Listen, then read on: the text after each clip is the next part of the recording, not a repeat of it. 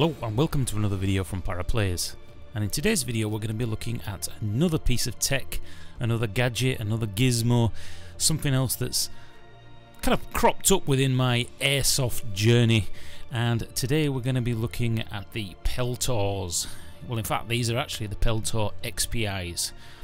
Now with all things in airsoft, when you're out there, there's always a piece of kit, a piece of tech, something that just looks damn Gucci when you see other people on the field playing with and you think, what's that? Why are they wearing them and what's the use of that?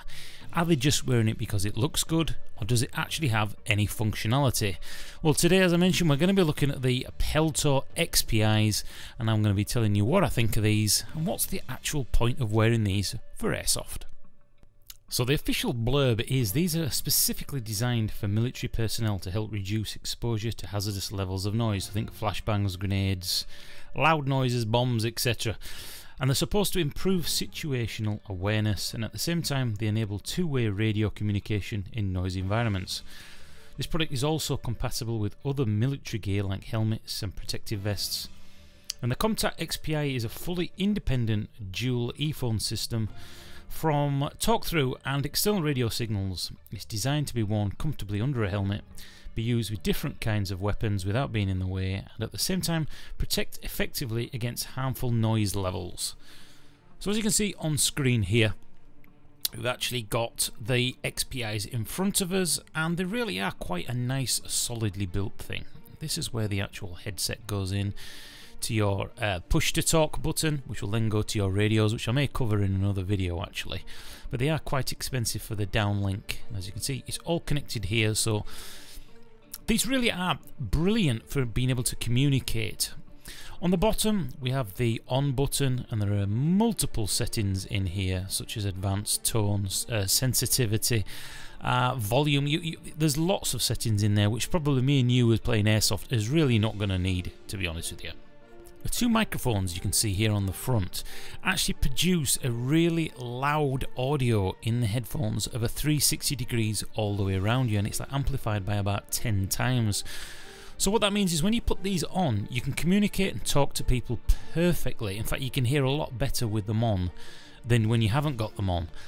And if I'm standing still in the woods, you can hear a twig break at about 20, 30, probably even further out meters. You can hear it click, you can hear people moving around in the underbrush, moving through trees, walking on ferns and, and uh, pine cones and things like that. So these really are a massive advantage actually, especially if you're going to be doing milsim. You can be stood completely still and you can hear the enemy moving around in the woods or just talking or rustling, you know, kit moving from quite a long way away.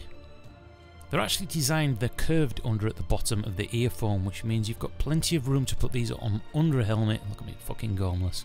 You can put them on under your helmet. They're really quite comfortable to wear for a long time. I've worn these for about six hours during the day. Actually need to move these a little bit up so the mic is pointing a little bit further forward. But you get the idea. And they're also, because they're curved at the bottom, means you have actually got room to shoulder your weapon and it gives you a little bit more maneuverability. You can actually get your weapon in there rather than the bulk at the bottom on a normal set of headphones. It's not really going to be viable for me to be able to show you what these actually sound like without sticking a microphone in the earpiece.